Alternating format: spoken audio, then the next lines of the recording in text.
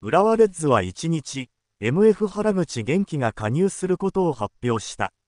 なお、背番号は78に決まった。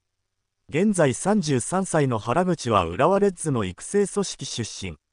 2014年夏にヘルタ・ベルリンへと完全移籍し、同クラブでは公式戦通算105試合に出場した。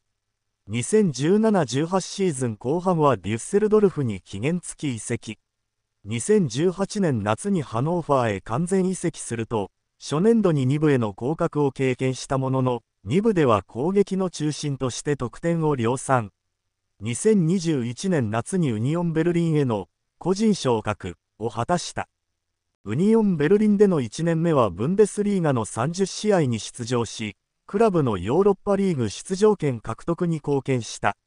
しかし、チームの選手層が厚くなった2年目は出場時間が減少し、2023年1月にシュトゥットガルトに完全移籍となった。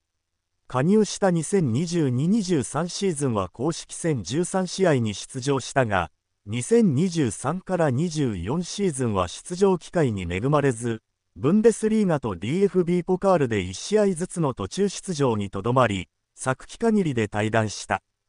フリーとなった原口の新天地には注目が集まっていた中、10年ぶりに浦和に復帰することが決定。同選手はクラブ公式サイトで以下のようにコメントを発表している。10年ぶりに浦和に帰ってきました。長い間、浦和を離れていましたが、再び浦和でプレーできることをとても嬉しく思います。そして、ファンサポーターの皆さんと共にサイスタで戦えることを心から楽しみにしています。この10年間で人としても選手としても成長することができました。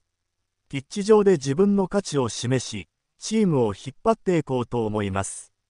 また一緒に戦っていきましょう。